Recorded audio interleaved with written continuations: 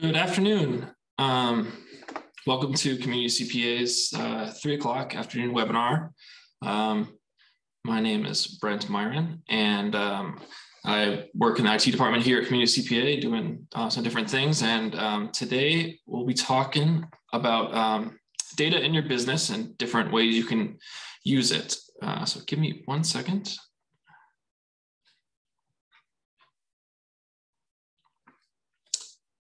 Um, so this is the topic of our webinar today. Uh, just a little bit of background about um, us as an organization. Um, we're based uh, here in Iowa and in Minnesota. Uh, we have an office in Minnesota. Um, we recently uh, were awarded a uh, Better Business Bureau Torch Award for Ethics, um, which was exciting. Um, Ying Sa is our CEO and one of our partners, and uh, she serves on the National Taxpayer advocacy panel um, and is a, uh, a, source of input um, to the IRS. Um, so if you have um, any suggestions or uh, input or feedback, you know, we're, we're a voice that can speak for the community and she, uh, she participates in doing that. Um, just before we get started, we have a responsibility disclaimer here just to say that, you know, take everything uh, we say here with a uh, grain of salt, uh, do your own research. Um, we're offering this as part of our services and to try, try to inform you, but we're not responsible for um, any damages or misuse of this information um, and whatnot. So um, if you uh, are interested in um, pursuing some, some of what we talked about here today, um, just, you know, do your research uh, and, uh, and proceed responsibly. so uh, the goal today is just to, to talk a little bit about data um, and, and how it can be useful for your business. Um, kind of give a survey of what's out there in terms of where you can get data, how you could use it, different sort of tools, um, uh, and ways that people use data for some interesting things, um, and give you some just some simple tips and tricks, some um, heuristics to get you started looking for your data that you can use um, in your business and uh, working with it, exploring with it, um, playing with it. And really, we just want to encourage you to, um, you know, practice data literacy and uh, try to try to use it for your operations and uh, for your uh, analytics, and you know, maybe go from there. Um, so first of all, I guess what is data? Um, it's, it's a very general term and it can really encompass basically anything in terms of information. Um, often we think about it in terms of facts or statistics like numbers, uh, but it can be um, also something that's you know very different. So um, it can be your data can include dates, categories, it can include um, things that are you know true or false about whatever you're collecting data about. Um, it can be sort of uh, unstructured in various ways. I mean, you think about um, data on uh, maybe like your customers. Uh, might will include information like their names, obviously, which is just text data, um, and uh, data can also also um, obviously be stored in um, various certain ways. We we have a lot of unstructured data. There's more and more data um, as time goes on, and it's growing. The amount of data that exists just collected through the web and whatnot um, is is growing exponentially. Um, but the challenge is, you know, how do you get access to it? How do you use it? How do you structure it? How do you understand it? Um, and you know, you can look at something like like the different documents your company has in terms of PDFs as types of data that is has some structure or, is uh, you know semi unstructured. Um, you can have uh, you can look at like pictures. Um, there's a lot of uh, work these days with um, methods that are trying to classify images and detect things. So, I mean, you, go to a website and you do one of those CAPTCHAs. Sometimes it'll ask you to um, identify you know the stoplight in the picture. And, and what, what, you're kind of doing is actually just providing some training data um, that can help someone eventually you know get a computer trained to detect stop, stoplight or, or other things like that. Um, so it can be basically in any form but it just you know it's, it's information codified in, in some way often on a computer. But you know really we can think about data more generally as just you know the information that we we live our life with and we act and we we operate under um, certain assumptions about certain things that's that's, type of data that you know exists in our brains Um, but here we're, we're talking more specifically about um, your tr- traditional data in a spreadsheet, tabular, something like that. Um, but obviously, um, let, us talk about what, why data is important. Um, it, data is a tool that can kind of help you, in my opinion, see things that aren't obvious. It enhances your perception. Um, it's like a window into a, a, world that you might not be able to see, or it's a microscope that lets you uh, uh, zoom in on something, drill down into something, um, and and work in, in, some area that um, that may not be as intuitively obvious to you. Um, you know, we're only human, and we have our our, our biases, um, and and um, just having things in uh, the form of data that you're you're working with um, can help you see different things and, and challenge some of those biases that you have obviously when you begin looking at data, you you you're doing so with a purpose. You have maybe a question about how you can make your business run better or how something works, and um, by looking at data, um, you you you can probe um, those questions. You can you can you can refine them. You can develop theories. You can get a you know uh, a, a better window into things.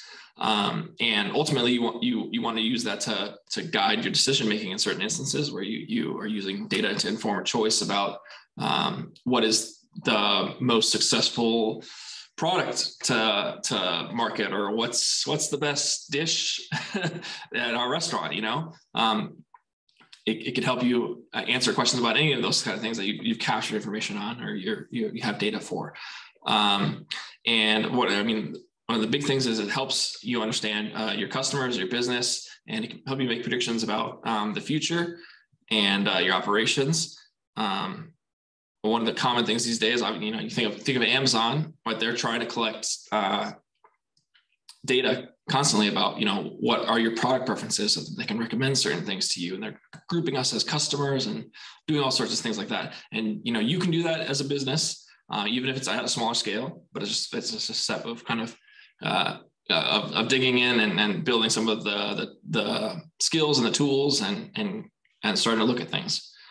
Um, so let's talk about uh, you know where uh, you have data. So you already are using data, right? You have you have knowledge about your business and what you're doing, and uh, you're you're monitoring things. And um, from the day to day, uh, you're doing a lot with with data. But you also have probably access to more data through just different things that you use um, that if you are deliberate about it, you can explore and use and try to inform your understandings. Um, so just common examples, right? We talk about finances or your your, your books. Uh, that's a source of data that you could use. Um, we, we often have sales data. We're tracking employee time for payroll. You might have a website that we have some ability to look at um, traffic and page views and things like that. Um, and we also maybe have information about our customers, you know, who they are, what they're kind of purchasing, um, that we can use to try to um, provide a better value for them by, you know, basically matching them with things that that we're trying trying to uh, sell. Um, so my question is, I guess, you know, what app? Think about what applications your business is using, and um, kind of explore those things a little bit. And often you'll find you can export some data from them, often in Excel or uh, CSV format, which is stands for comments, comma separated value format, which is just a, a simple way of having a table. Um, but you know, dig around into some of these things, right? You have um, banking, your you know your bank account, where you might have some exports. You have your uh, point of sale system. You might be doing things with your inventory, uh, different marketing or advertising channels. Um, you might have a, a, piece of software that helps you manage your workload. So you're maybe scheduling client things, putting in work orders, creating projects. Um, you probably have some employees, they have some time records um, that you can use and look at patterns or um, manipulate in a certain way to help you, you know, to even just just monitor um, time. You have maybe a website if you have an email or a phone system, often those providers will have some sorts of reports about, you know, call volumes or email volumes or storage used and things like that that you can look into. Um, and then, you know, uh, some some some of you have you know customer surveys that are that are set up. I mean, the the, the possibilities are sort of endless. And um, there's I have listed here public data where you can have you can find data this may be related to your line of business. Uh, that could also help you uh, make some decisions. And um, you know, if you get really really complicated, you can even do something like, um, you know, if people people go and and look at like Twitter, right? You people have collected a bunch of data about tweets, and you can analyze the sentiment of those kind of things, and maybe that gives you an idea of whether or not um, certain things you're doing are going in the right direction or not. You know, um, the, the, the the internet is out there, and there's a lot of data, even that's related to your firm or can help you um, make decisions. Uh, so don't discount that too, but definitely look close to home. You'll find maybe more. Um, and even if you don't have something on hand, it, you know, I hope to um, give you some principles about how you might track certain things and you might organize certain things so that you can do some something um, with with just data that you yourself want to collect. Um, so uh, let's just talk about some of the like really fancy things you could do with your data um, if if you sort of get to that certain level. Um, and uh, each for each one of these things too. I mean, just by but just by looking at what you have, um, you can um, approximate the same kind of thing that these methods are trying to do. Um, so, uh, for example, uh, A/B testing. So this is a method where it's used a lot in in, in terms of um, uh, websites, website design, uh, where you are going to um, collect data on your website usage or sales or whatnot, and uh, you actually implement a, a, testing methodology where you will randomly assign um, your customers to different groups. So you might have a control group, which is where your existing website layout looks like, and maybe you're trying to test drive um, a new website layout. And uh, so you you just um, randomly assign visitors to of your website to those two different um, groups and you look at different metrics and um, maybe you use that to inform how you might update your website or if a design isn't going to work um, you do similar things with with like you know uh, product rollouts. You might have a certain type of product that you want to um, try to um, test in certain certain certain stores or certain um, certain areas. And you can try to you know randomly assign them to where you're gonna where you're going to um, uh, test them out, and and then after a little while, um, you can use uh, some some fancy statistics to kind of get an idea of uh, whether or not the difference you saw in performance is is um, either due to chance or is uh, uh, is a large effect. Um, yeah. Um, another thing is uh, classification. So this is a kind of a, a, fan, a fancy uh, uh, illustration where essentially, um, if you think about it, you have customers and your customers might fall into um, different types of categories. And if you collect data on your customers, you might be able to um, uh, classify them in certain contexts and deliver to them, you know, um, certain types of advertising that may fit their their their their classification type. Um, whether or not it's you know a collection of interests um, or maybe even you know just knowing to you know serve them an advertisement for uh, you know uh, a, a, a some local offering or whatnot. Um, there's also um, methods where you're just kind of just trying to categorize your customers by groups of um, their features. Um, and and that, that falls in this category of unsupervised learning. So here you see this this plot, and you can think about like you know um, you know how how can you group people to, to into to relevant categories that can help you um, approach problems um, or uh, deliver services to, to, to different different groups of them. And then obviously there's there's some you know like forecasting methods you might have um, certain things that you care about that you uh, uh, want to uh, come up with a forecast for. And there are different you know fancy methods for doing that sort of thing. Um, but um, obviously, the question is like, where do you start with your business? I mean, we serve a lot of small and medium-sized businesses, and so um, there's kind of a, a, a different um, starting point where um, the the first goal is just to kind of go look for your data, try things out, um, get comfortable with um, what you can do and how you should uh, uh, kind of interact and, and, and organize those things. Um, so, you know, um, once you have an idea of what data you have, um, you you want to develop questions of you know what, what do you want to know? Um, how do you how how's how do you want to maybe break it down or drill into it? How do you want to summarize it? And then um, it's just a, a, repetitive process where you're, you're kind of building on that understanding. Um, you're building new tools new, new reports um, things things like that until eventually you know you get to this point where you're maybe doing something uh, pretty sophisticated um, yeah so one of the first uh, tips, though, that I want to talk about when it comes to thinking about data is uh, you, you, imagine like a spreadsheet, right? An Excel spreadsheet, um, where Excel is this tool where you, you use it for a bunch of different purposes. And the key with working with data is having a certain type of organization. And the simplest uh, way to understand how to organize a spreadsheet is, is like this. It follows this rules called the tidy data, tidy data rules, um, where uh, you're, you're, you're, you're being careful about having things in, in a table format. And um, you, you commonly see things like um, you might have a table of data and then interspersed in the middle of it, you might have something like a, a summary for parts of the table. And you want to avoid something like that um, because it just makes it a little bit more difficult to work with and you have to clean that up before you really want to do certain things. Um, but here on the screen, you can see um, this, there's some data where uh, each row in this data, uh, each well each column uh, in in the in in your your table um, should have only one variable, um, and often we we we you can you can kind of overload these things. So a common example might be like first and last name.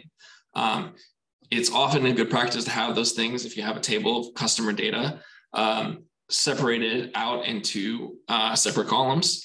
Because um, then if you do want to work with them or do something with them then you can from that point you can go forward. But if they're they're smushed together in some type of format uh, maybe they're it's first name last name if that's in a column um, you you you and you want it to be last name comma first name um, you have to do a little bit more uh, work of transforming that data um, and at the same time if you have maybe like two numerical values you're you're, you're recording two things or maybe like uh, sales and and profit for a certain region or a certain store. You don't want those in the same exact cell. You want it, those to be separated into their own specific columns. Um, and at the same time, you want to have a clear idea of what each row in your table is. And here, that's that's called an observation, uh, where that observation, you know, sticking with like customer data examples, would be maybe like a customer, and each variable or each column uh, might be um, you know it could be sales numbers uh, for for that customer in a period of time or it could be you know any any feature for that customer but each customer would only have um, the one the one line or um, you have to be very careful about um, so for example in this in this case each each observation is actually just a country and a year combination um, so each row in the table represents that one thing so there wouldn't be two rows for example with um, with with a country and and and a year repeated because um, they should be uniquely identified in that ta- in that table by those two columns, and that that represents the observation. Um, and then finally, uh, each value should have its own cell. Um, you can get to some wacky things where, especially in Excel, you're trying to format things so it's presentable, where you might have um, merged uh, merged cells, or um, you might have uh, uh yeah, multiple pieces of data in the same in the same cell. Um, so you want to avoid that. Um, and then from there, like obviously the, the first thing you're going to do when you have your data is you're going to, you're probably going to do what we call, you know, building a report or a dashboard, or you're running a report out of um, some software system that you have, or that, that system might have dashboards um, that, it, that it presents to you already. Um, and really that's just a summary and view of your data um, that you can use for you know operational purposes just to kind of like get familiar with it look at it um, think about what what your kpis are your key performance indicators. And um, you know bring your attention to those things and pay attention to them. Um, and, and, you know play around with maybe filtering on those things drilling down to them. Um, that's that's kind of the, the the simplest you know first step. Um, one of the keys here in my, or one of the warnings that I have at the end here is just don't miss the forest for the trees. Um, you can be so hyper focused on certain things um, where you you do want to have at least a, a broad perspective and um, and not not not kind of overemphasize one one key performance indicator versus another. Um, and just an example of that, um, this is a dashboard that was built with um, Microsoft Power BI. It's one of the examples from their website, but you can do something similar similar to this with Excel very easily. You get some data and you um, can create some summaries and create some charts, and just you know be paying attention to it, maybe spotting some uh, trends as you as you uh, see them as they come up, um, and just being aware um, and keyed into your data. Um,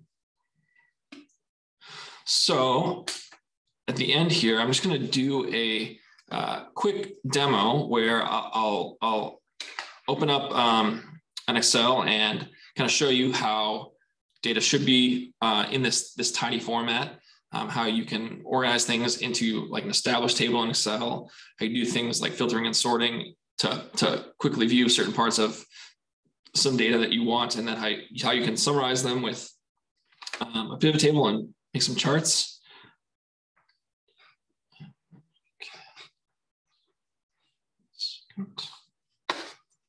My, my mouse works. Let me switch this. So here um, we just have some example data, and um, it's you know some some demo test sales data uh, where we say we look we have um, different sales orders um, from different regions of different product lines um, with sales amount and um,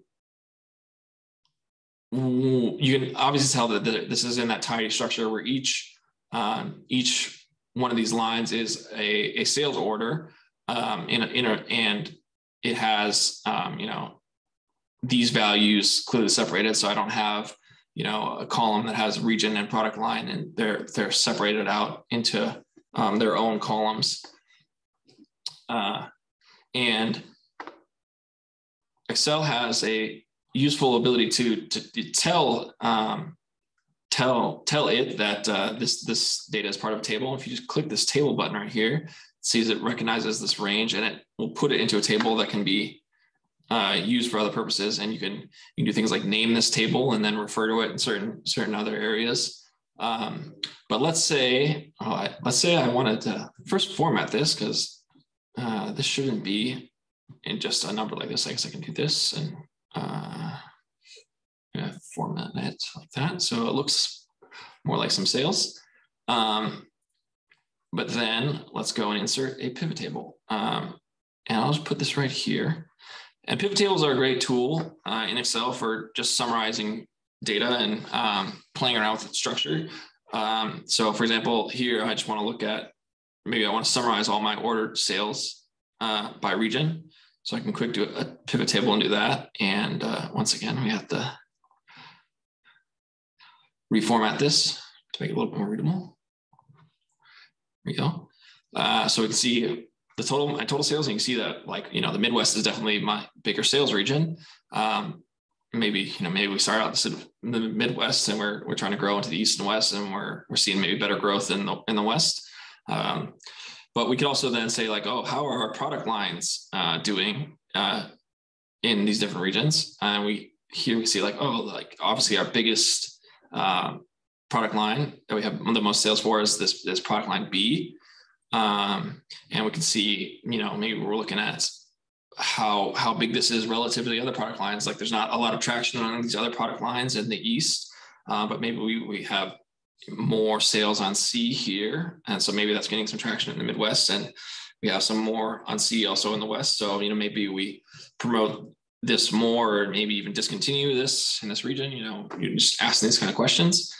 Um, and then, uh, so pivot tables are a great way for summarizing data like this. And you, you kind of specify rows and you specify what you want to uh, have for values and you could add multiple things in here you can do different things like instead of summing these, I can actually maybe just count them to get an idea of um, how many how many orders I have in in in each one of those regions, um, which might be relevant in some some instances. But um, let's go ahead and also uh, let's do let's do some charts. So simple thing to do here, just hit this recommended charts and you kind of have to play around with it and you'll get more familiar as time goes on. But um, this is, this is, you know, a good one. It's interesting. Maybe I want to look at this and see trends. I have big sale days and maybe I need to uh, adjust, uh, you know, staff or something, uh, you know, around, around those days and uh, make some decisions related to that. Uh, alternatively, uh, let's, let's, let's try another one. I can see, oh, Let's see if we can get, here we go, region. So here's just a simple, simple way to visually see what we were kind of looking at in that pivot table with our regions. Um, but maybe we also want to get this to just this, this chart here. And now we see, we see the same sort of patterns and we can look at the differences in magnitudes in those different regions. Um, yeah. So just some simple things you can do in Excel. Um, to play around. It's really Excel is the that that that first tool that that you'll probably use. It's it's ubiquitous. Uh, there's Google Sheets as well, which has has a lot of the same um, functionality, but Excel is you know the the mainstay. Uh, and from here, there's there's there's a lot more that you can do as you as you um, build up your data infrastructure and and, and go forward. Um, different ways you can organize your data to be more efficient. Um, but you know, this this could be the start of a dashboard where you're where you're trying to um, you update this this data in this table and you can refresh all these these charts and these summaries and um, you know just keep an eye on things and and um, you know explore questions that are interesting for you and your business. Um, so uh, that's that's all I have. Um, but really, um, just just my my recommendation is it's a it's a, it's there's a lot you can do with your data and um, you you can go out there and you should you should find um, what what data you do have and think about what data you could be getting. Um, you could do some very interesting things with it and just just you know um, explore a little bit, build up your familiarity, uh, ask questions. That's always that's always good. It's a tool to keep you engaged with your business and and make um, you know better, more informed decisions. Um, you shouldn't get lost in it, but but it can it can definitely help you see certain things that you haven't seen, and can help you um, you know learn more about every every aspect of your business. Really, um, yeah. Are there any questions?